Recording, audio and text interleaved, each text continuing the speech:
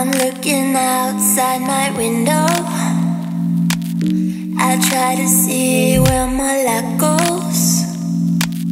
I just don't know how it slips out. There must be some kind of black hole in this house. Every person could be you, though.